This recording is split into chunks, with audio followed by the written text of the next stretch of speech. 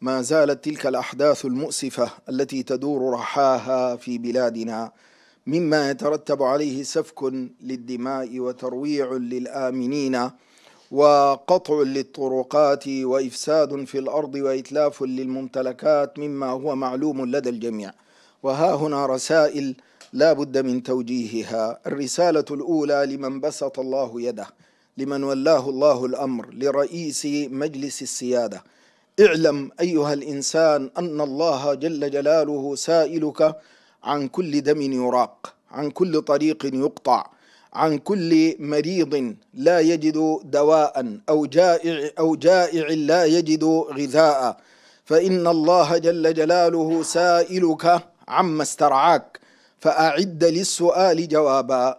لا يصلح أن تبقى مكتوف اليدين تنظر نظرا باردا لتلك الأحداث الجسام التي تهدد البلاد في أصل وجودها وتروع الناس في أمنهم ولا تحرك ساكنا كأن الأمر لا يعنيك. هذه واحدة. ثانيا اوجه رسالة إلى رجال الشرطة. أقول لهم جبر الله كسركم وعظم أجركم لكن لا يحملنكم ما حدث على أن تسفكوا الدماء ولا على أن تبطشوا بطشة الجبارين بل عالجوا الأمر بما يمليه الشرع بما يمليه النظام دون تعد أو إفراط. فإن الله جل جلاله لا يحب المعتدين. ثالثا أوجه رسالة إلى عموم المسلمين في أرض السودان. يا مسلمون يا موحدون يا أهل لا إله إلا الله اعلموا أن أحزاب الشمال قد غرهم بالله الغرور وقد ظنوا أنهم قادرون على أن يفعلوا بالناس الأفاعيل وأن يجلبوا عليهم بخيلهم ورجلهم رغم أننا نعلم وهم يعلمون أنهم أقلية لا وزن لها ولا قيمة وأنهم أحلاس مخابرات وعملاء سفارات وأنهم ليسوا في القبيل ولا الدبير رغم أن أصواتهم عالية وكذبهم كثير. إن مطلوبا منا أن نتوحد جميعا وأن نتفق على الحد الأدنى.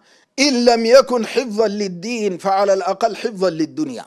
فبعدما هدد الدين وطمست معالمه واعتديت على حرماته الآن الأمر انتقل إلى الدنيا. الناس مهددون في أمنهم. في معاشهم في بيوتهم في دمائهم في أعراضهم. فلا أقل من أن نتحد وأن نكون يدا واحدة خلف القوات النظامية من أجل أن يبسط الأمن. حتى لو لم يجد الناس طعاما يأكلونه فلا أقل من أن يأمنوا على دمائهم على أعراضهم على أنفسهم. وليكن لكم عبرة فيما يحدث في بلاد أخرى من اختلال للأمن وعدم وجود طعم للحياة قط. ثم رابعا أقول لشرفاء القوات المسلحة إن هذا الباطل الذي يستشري وهذا الفساد الذي يسري سريان النار في الهشيم يحتاج إلى حسم من ناس قد ثارت لله غيرتهم يغارون على الدين يغارون على حرمات الله أن تنتهك يغارون على دماء المسلمين أن تسفك يغارون على أن يكون علج صليبي اسمه فولكر هو الذي يأمر وينهى وهو الذي يحل ويعقد وهو الذي يتيه في البلاد يمينا وشمالا ولا معقب لحكمه ولا يجد من يأخذ على يده. إن مطلوبا من وطن من وطنيين صادقين أهل غيرة ودين أن يغيروا هذا المنكر وأن يوقفوا هذا الباطل قبل أن نندم حيث لا ينفع الندم. أسأل الله عز وجل أن يغير حالنا إلى أحسن حال.